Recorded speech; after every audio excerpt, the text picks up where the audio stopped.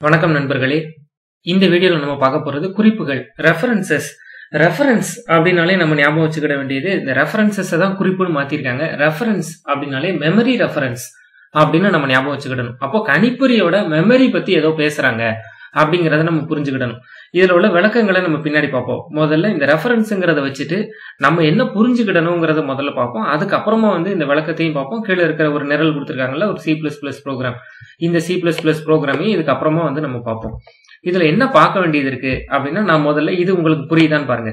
நான் வந்து ஒரு இன்டீஜர் வேரியபிள் டிக்ளேர் பண்ணியிருக்கேன். ஒரு ஒரு மாறி. அந்த மாறிக்கு என்ன பேரு? நம்முன்னு பேர் வச்சிருக்கேன். இந்த மாறிக்கு நம் அப்படின்னு பேர் வச்சிருக்கேன். இந்த மாறியோட பேரு நம். இந்த மாறியோட மதிப்பு நூறு அந்த மதிப்பை கொண்டு போய் நம்மள வைக்கிறேன். இந்த மாறி என்ன தரவினம்? இன்டீஜர் தரவினம். இது கணிப்பொறியோட மெமரியில கணிப்பொறியோட நினைவகத்துல எப்படி போய் பதியும் அப்படின்னா நம்மங்கிற பேர்ல இன்டீஜருக்கு உண்டான சைஸ்ல இப்ப நாலு பைட்னா நாலு பைட் அதான் இந்த கட்டம் போட்டிருக்கேன்.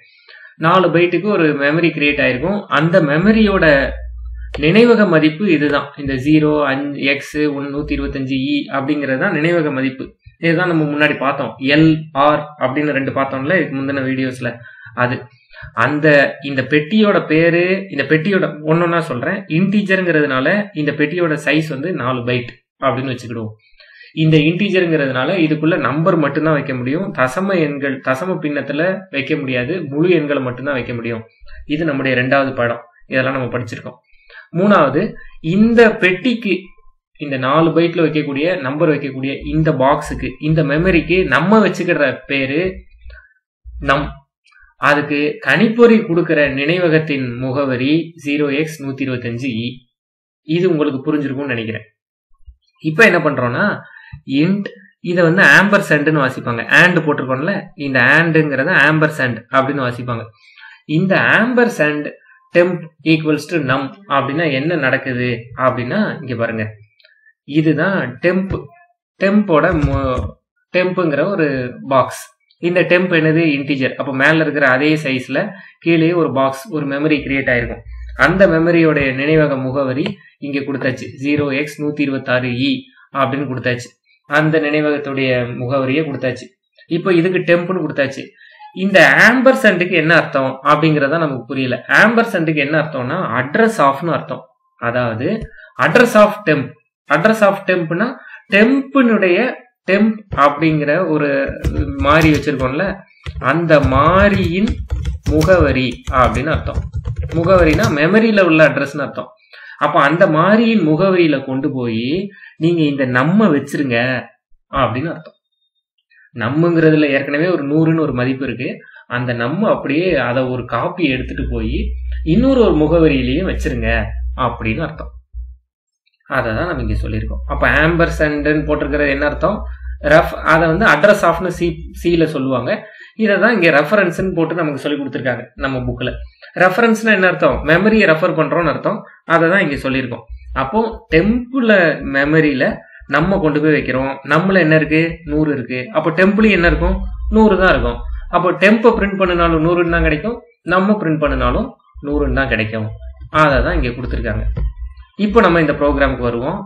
இந்த ப்ரோக்ராமை புரிஞ்சுக்கிடுவோம். அதுக்கப்புறம் மேலே உள்ள கதைகளை போய் படிப்போம். ஏன்னா நமக்கு ப்ரோக்ராமிங் கற்றுக்கிட்டது தான் ரொம்ப முக்கியம். நம்ம படிக்கிறதே நிரலாக்க மொழி தானே. இப்போ பாருங்க. இன்ட்டு நம்முன்னு கொடுத்துட்டாங்க. நமக்கு எந்த மதிப்புமே கொடுக்கல. அதாவது நமக்கு இந்த ஈக்குவல்ஸ் டு போட்டு எந்த மதிப்புமே கொடுக்கல. ஆனால் என்ன சொல்லிட்டாங்க? நம்ம கொண்டு போய் இன்ட் ஆம்பர்சண்ட் டெம்ப் அப்படின்னு போட்டுட்டாங்க. இதுதான் ரெஃபரன்ஸ் சொல்றோம். இந்த ஆம்பர்சண்ட் அப்படின்னு வாசிக்கிறது தான் ரெஃபரன்ஸ் அப்படின்னு சொல்றோம். அதாவது டெம்புடைய ரெஃபரன்ஸா நம்ம வச்சுக்கோங்க. நம்மள என்ன மதிப்பு இருந்தாலும் சரி நம்ம வெற்றிடமா வந்து ஒரு குப்பை ஒரு கார்பேஜ் வேல்யூ ஒரு குப்பை மதிப்பு இருந்ததுன்னா தேவைப்படாத ஒரு மதிப்பு இருந்ததுன்னா அதே மதிப்பு டெம்ப்ல இருக்கட்டும் அப்படின்னு சொல்லிட்டாங்க. ஆனா அதுக்கப்புறம் என்ன பண்ணிட்டாங்க? நம்மளை கொண்டு போய் நூறுங்கிற மதிப்பை வச்சுட்டாங்க. நூறுங்கிற மதிப்பை வச்சதுனால இப்ப நம்மள நூறு இருக்கு. நம்மளுடைய ஒரு காப்பி எங்க இருக்கு? டெம்பிள் இருக்கு. அப்போ நம்ம பிரிண்ட் பண்ணாலும் சி அவுட்னு கொடுத்து நம்ம பிரிண்ட் பண்ணாலும் நூறுன்னு தான் வரும். சி அவுட்னு கொடுத்து டெம்போ பிரிண்ட் பண்ணாலும் நூறுன்னு தான் வரும். இந்த ப்ரோக்ராம் செஞ்சு செஞ்சு பார்ப்போமா? வாங்க. இந்த ப்ரோக்ராமை நம்ம இப்போ செஞ்சு பார்ப்போம். இப்போ இங்க போயிட்டு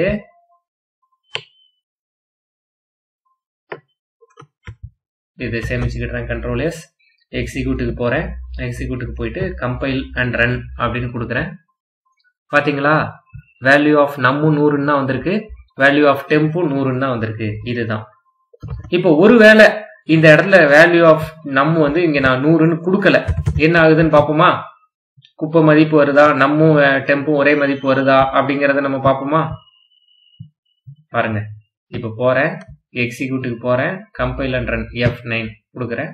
கம்பைலிங் பாத்தீங்களா குப்பை மதிப்பு வந்துருச்சா? ஏன்னா அதுக்கு எந்த தொடக்க மதிப்பும் கொடுக்கல. நமக்கு அப்போ நமக்கு என்ன மதிப்பு வருதோ அதே மதிப்பு டெம்புக்கு எப்போ நம்முடைய மதிப்பு நூறா மாறுதோ அப்போ டெம்போட மதிப்பும் நூறா மாறிடுது. இங்கே நூறுன்னு கொடுத்து அதை செஞ்சு பார்க்கும்போது நமக்கு இந்த மதிப்பு மாறி நூறுங்கிறது வருது. இப்போ நூறுங்கிறதுக்கு பதிலாக நான் வந்து முந்நூறுன்னு இல்லை முந்நூறு நானூற்றம்பது இந்த மாதிரி ஏதோ ஒரு மதிப்புன்னு கொடுத்து பார்க்குறேன். அப்போ திரும்ப எக்ஸிக்யூட் கொடுத்து பார்ப்போமா? கம்பைல் ரன்ல இந்த பாருங்க நானூற்றம்பதுன்னு வருதா? இதுதான் இந்த ஆண்டுன்னு சொல்றதோடைய இந்த ஆம்பர் சாண்டுன்னு போட்டா என்ன நடக்கும் அப்படிங்கிறத காமிக்கிறோம். இப்போ நம்ம வந்து அதுல கொடுத்துருக்கிற தியரி என்னங்கிறதுக்கு போவோம். என்ன கதை சொல்லியிருக்காங்கன்னு பார்ப்போமா? இங்க பாருங்க. முன்னரே வரையறுக்கப்பட்ட மாறிகளுக்கு ஒரு மறுபெயரை குறிப்புகள் வழங்குகின்றன. குறிப்புகளின் அறிவிப்பு மாறியின் அடிப்படை தரவினத்துடன் அண்ட் ஆம்பர்ஸ் அண்ட் ஆம்பர்ஸ் அண்ட்னு வாசிப்பாங்க இது. அதாவது இப்படி ஆம்பர் ஆம்பர்ஸ் ஆம்பஸ் அண்ட் அப்படின்னு வாசிக்கணும் இதை. ஆம்பர்ஸ் அண்ட்னு வாசிப்பாங்க. குறியீட்டையும் கொண்டிருக்கும். குறிப்பு மாறி குறிப்பு மாறிங்கிறதுக்கு இங்கிலீஷ்ல குறிப்புங்கிறது என்னது? ரெஃபரன்ஸ் ரெஃபரன்ஸ் வேரியபிள் ஏற்கனவே அறிவிக்கப்பட்ட மாறியின் மதிப்பை எடுத்துக்கொள்ளும்.